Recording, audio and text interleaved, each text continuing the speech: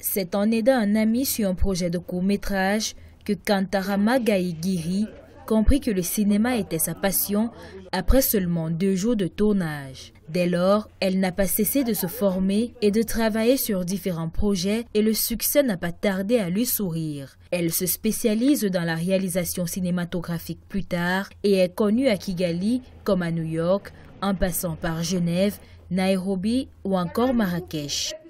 De là, je suis partie en Europe euh, où j'ai euh, fait un long métrage qui s'appelle Tapis Rouge, euh, qui parle d'intégration, qui parle de sujets un peu plus graves, mais sous une forme entraînante et qui donne un message d'espoir aux jeunes.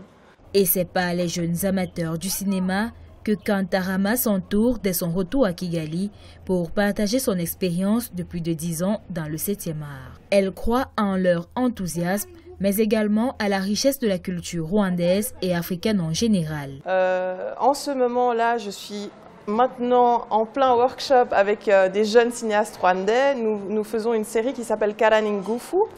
On a tourné quatre épisodes au mois d'août et là on fait quatre épisodes supplémentaires pour euh, continuer la saison 1.